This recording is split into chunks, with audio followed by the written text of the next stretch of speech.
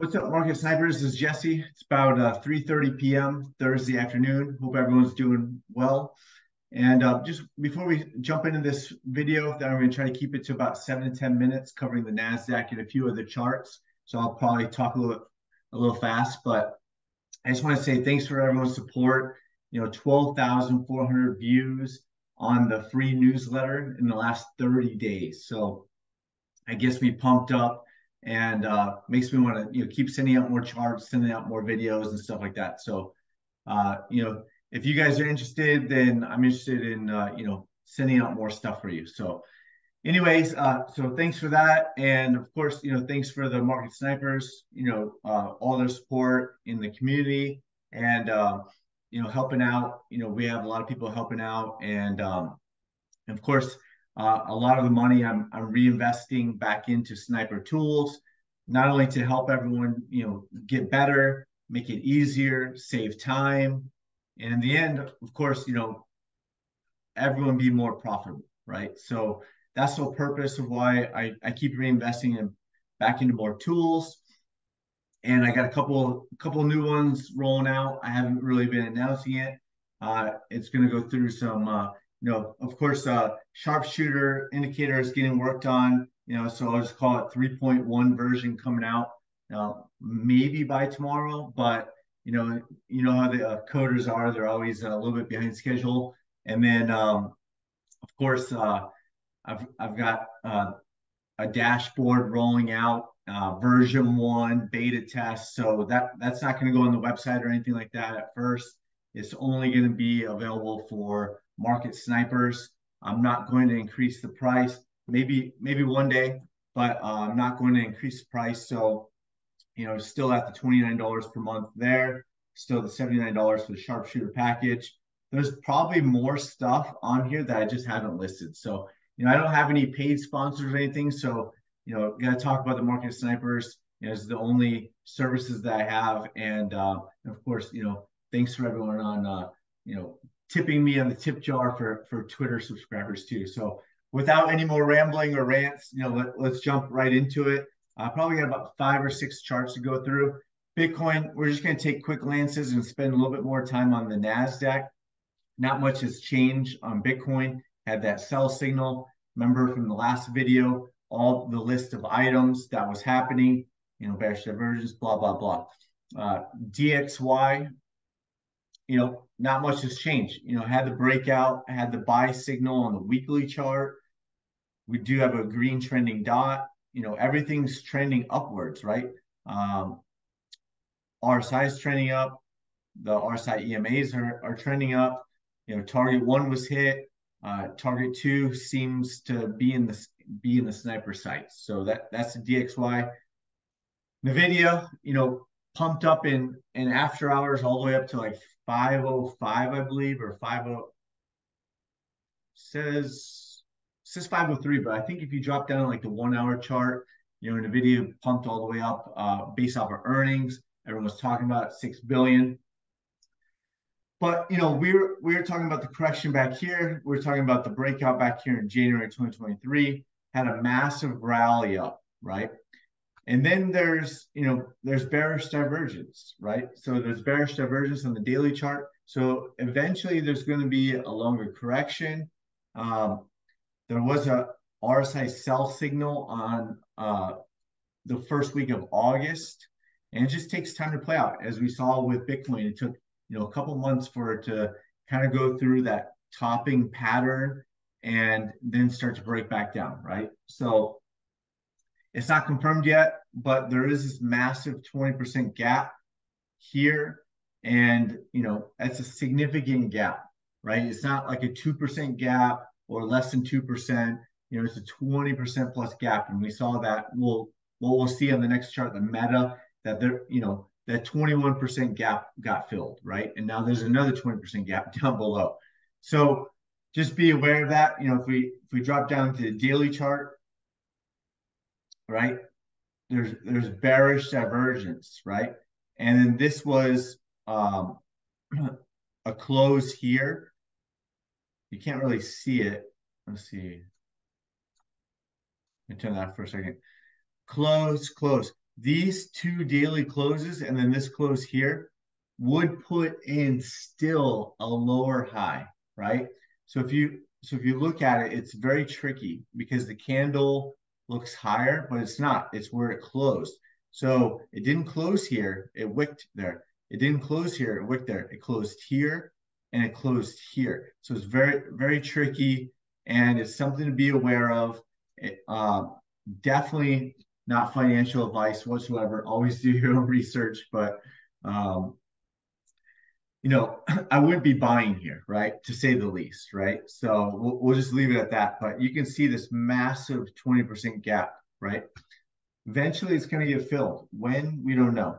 Uh, but price broke down, hit two targets, bounced all the way up, back up, ran, pushed it, you know, right into uh, earnings, and um, you know, still had this bearish divergence. This could still, this could be a lower high, okay, and then this could be a slightly lower high, and that would signal for me that you know lower downside that the next targets will be hit, and then we'll see what happens with twenty percent gap it takes time to play out. So it doesn't it typically doesn't happen overnight. Let's let's keep moving on though, and uh, let's move on to um, the next one, Meta, because we're trying to get to the Nasdaq chart. So it's you know three, four, five, six, seven, seven total charts trying to do in seven to ten minutes. Probably not going to happen. so Meta, you know, we were talking about it way back here. You know, uh, watching bullish divergence play out, watching um, a reversal, calling it way back here. You know, there's a buy signal back here at 151 on the weekly chart. Obviously, the daily chart was sooner than that. Rallied, rallied, rallied, you know, for from uh, January all the way till about July, right? Filled that massive 21% gap, hit all the targets along the way. and now it's started to break down. There's an RSI sell signal here. I'm sure there's like a MACD bearish crossover. I can put that on the indicator and uh, let's see, style coming here, MACD bear cross.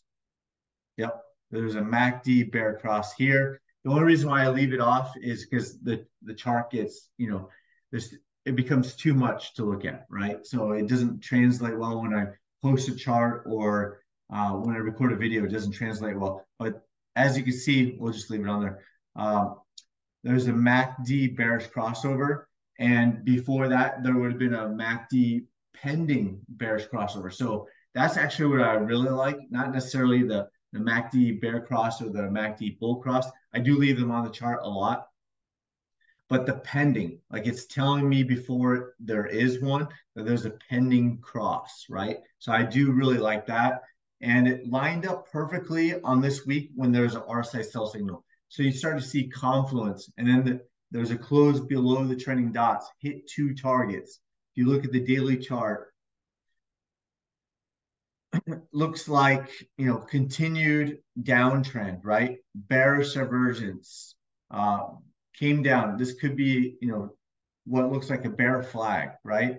A reversal candle down. So this could be a lower high here. And uh, then we're looking at, you know, possibly hitting these targets, retesting the 200 week moving average. If it breaks down below the trend line, below the 200 week moving average, then, you know, we're looking at this target and then looking at a potential of massive 20% gap.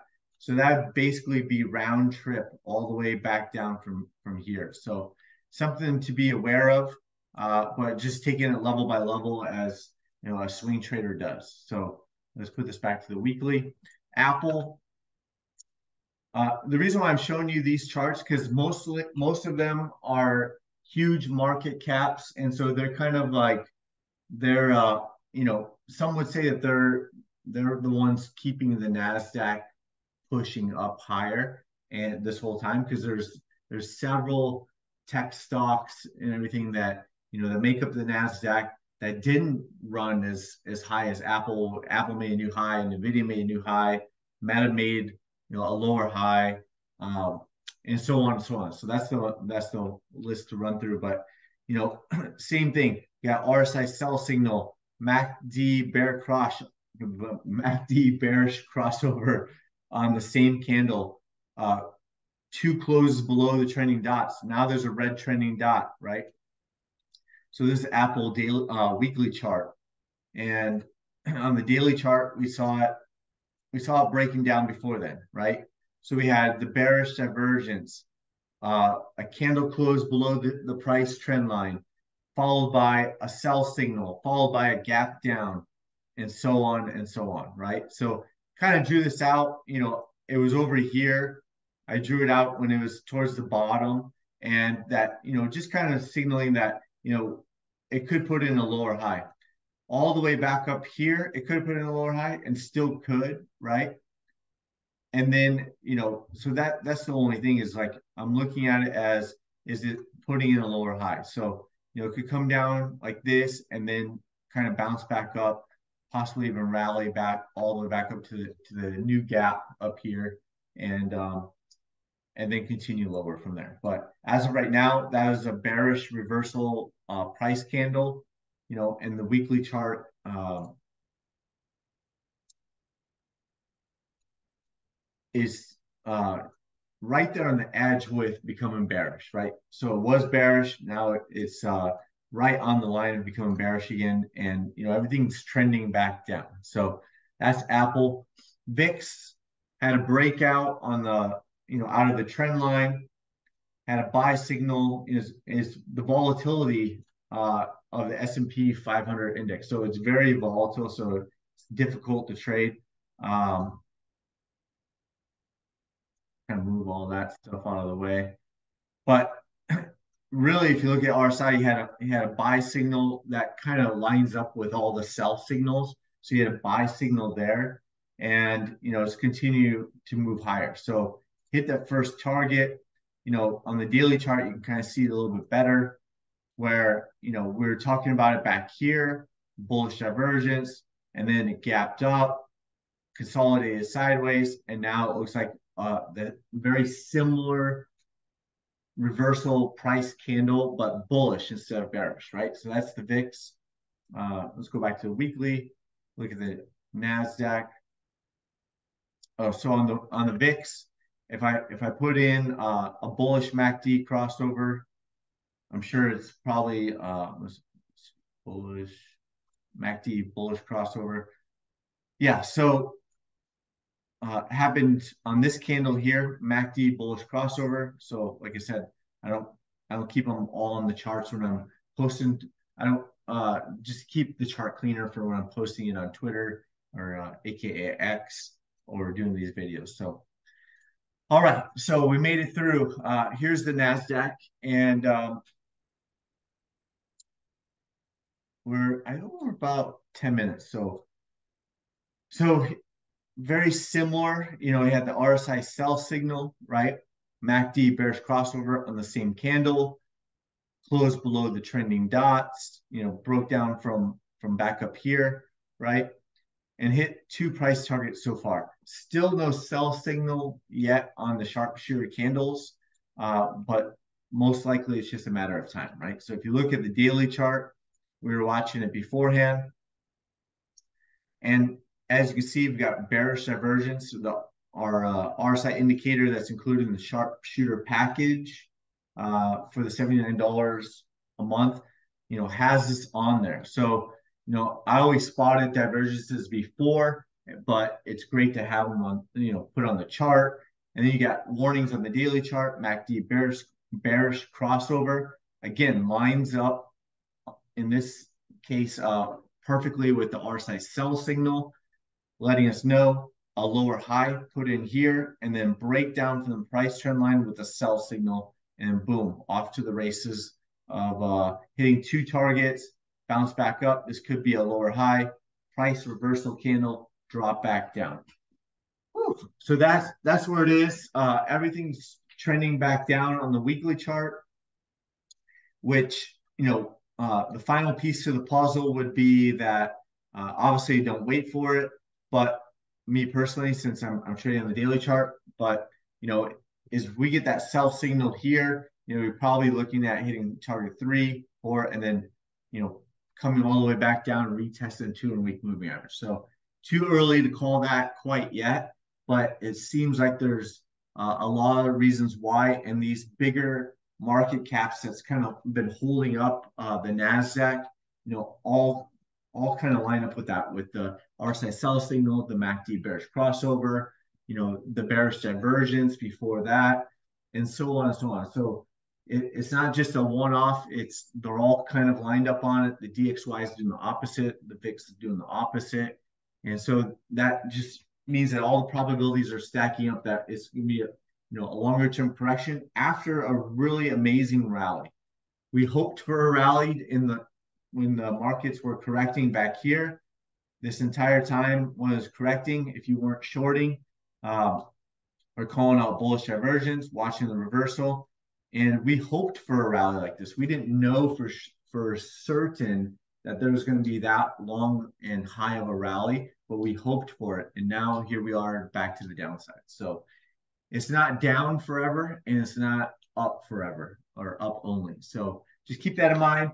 Hope everyone's doing well. If you guys have any questions, you know, feel free to uh, direct message me on uh, Twitter. You know, feel free to uh, uh comment um, and then just let me know your thoughts and everything like that. So thanks again, and I'll, I'll see you on the next one. I'll get this uploaded this afternoon.